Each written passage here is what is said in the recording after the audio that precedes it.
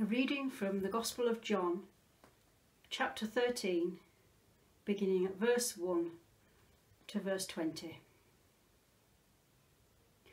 Now, before the festival of the Passover, Jesus knew that his hour had come to depart from this world and go to the Father. Having loved his own who were in the world, he loved them to the end the devil had already put into the heart of Judas, son of Simon Iscariot, to betray him.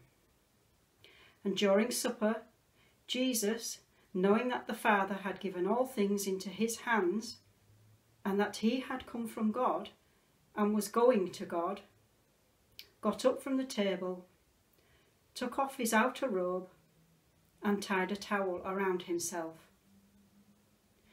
Then he poured water into a basin and began to wash the disciples' feet and to wipe them with the towel that was tied around him. He came to Simon Peter, who said to him, Lord, are you going to wash my feet? Jesus answered, You do not know now what I am doing, but later you will understand. Peter said to him, you will never wash my feet. Jesus answered, Unless I wash you, you have no share with me. Simon Peter said to him, Lord, not my feet only, but also my hands and my head. Jesus said to him, One who has bathed does not need to wash, except for the feet, but is entirely clean and you are clean, though not all of you.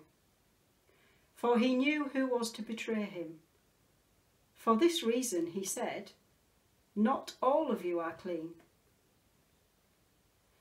After he had washed their feet, had put on his robe, and had returned to the table, he said to them, Do you know what I have done to you? You call me teacher and Lord, and you are right, for that is what I am. So if I, your Lord and teacher, have washed your feet, you also ought to wash one another's feet. For I have set you an example, that you also should do as I have done to you. Very truly I tell you, servants, servants are not greater than their master, nor are messengers greater than the one who sent them. If you know these things, you are blessed if you do them. I am not speaking of all of you. I know whom I have chosen. But it is to fulfill the scripture.